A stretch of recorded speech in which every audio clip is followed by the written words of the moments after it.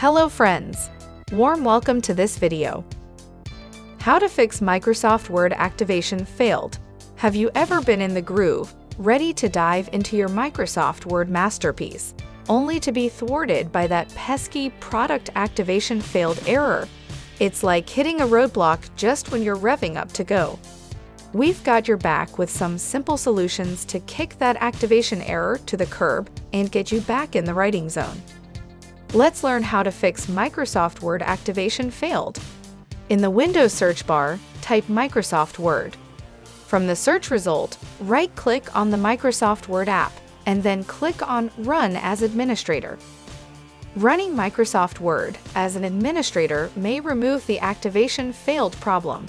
If the issue persists, then follow the next steps.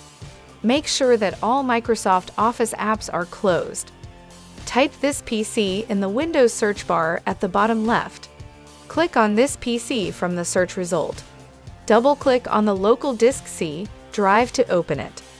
Open the folder of program files x86 in the C drive, then open the following subfolders Common Files, then Microsoft Shared, and then Office Software Protection Platform.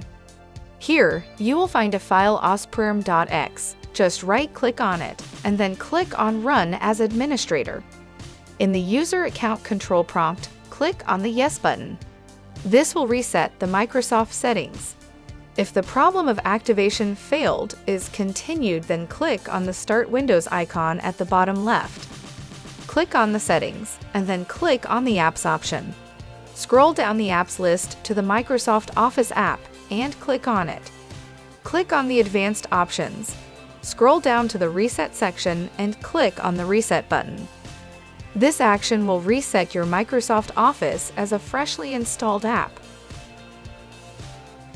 Please do not forget to like this video. Make sure to subscribe to this channel. Press the bell icon to get updates on new tech support videos. Thank you for watching this video.